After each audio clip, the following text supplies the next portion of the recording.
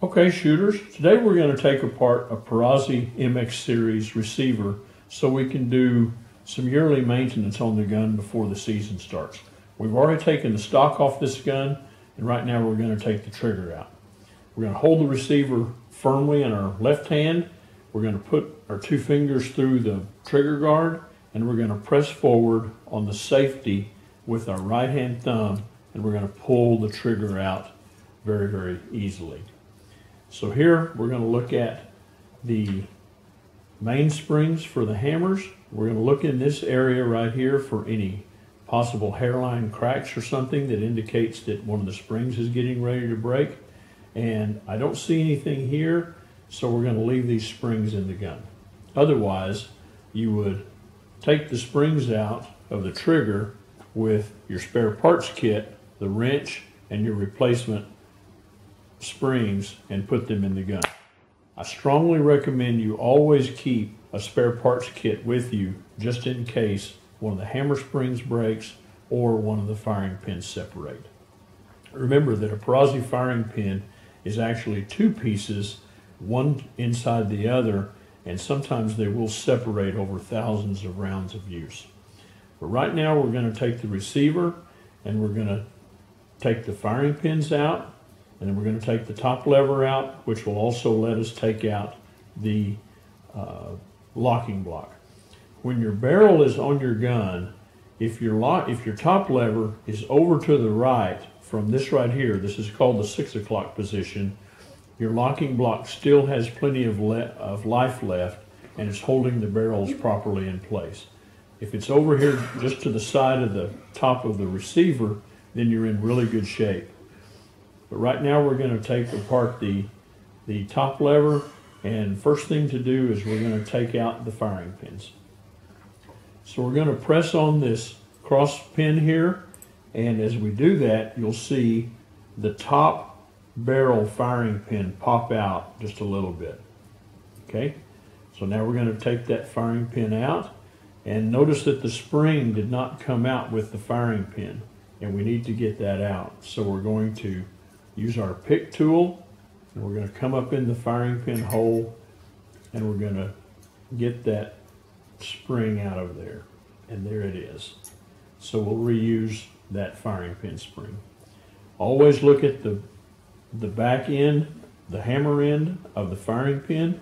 And if you see any indication of the small pin coming out of the hammer end then you have firing pin separation going on and you should replace that firing pin. But this firing pin is still good, so we'll reuse it.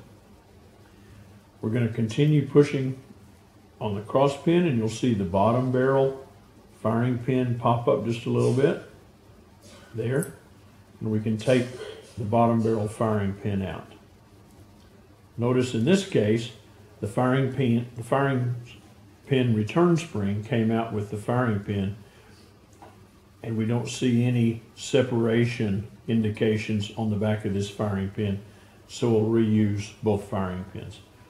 Notice on the Perazzi gun, when we align the, the hammer ends of both firing pins, one firing pin is a little bit longer than the other. That's the bottom barrel or the right hand side as the receiver is facing away from you. So now we're going to take out the top lever and to do that we need to take the spring pressure off of the top lever return spring that's behind this top lever return spring plunger. This slot right here is not a screwdriver slot, although I'm in pointing at it with a screwdriver, but it is only an alignment slot. So we're going to press forward very slightly here, and we're going to take the spring pressure off of that top lever return spring, and then we're going to pick the top lever up just a little bit at a time. And you need to take it up about half of an inch, and then you can take out the locking block of the gun. And we've already determined that we don't need to replace the locking block, so we're going to set it aside right here.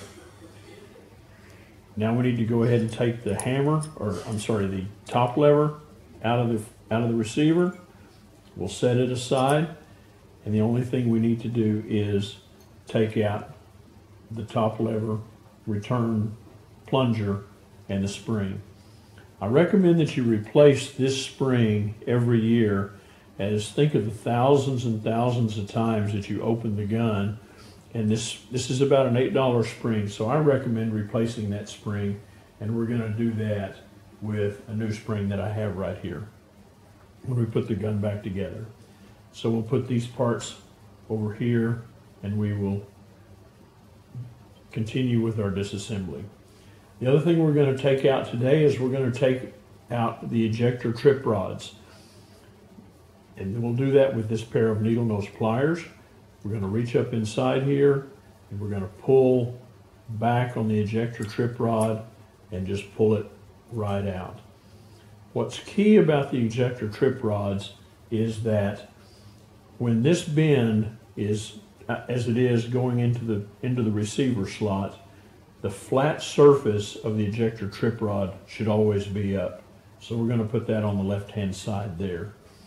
And here we're going to take and pull out the other ejector trip rod and it just pulls straight back and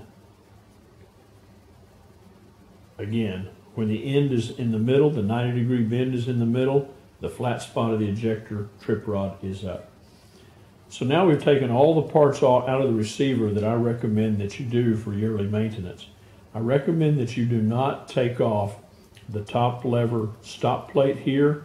There's a spring and a plunger up inside here, and there's another plunger right here. And those parts do not wear very much, so I recommend that you leave those alone. So that's it for taking it all apart. Thanks for watching.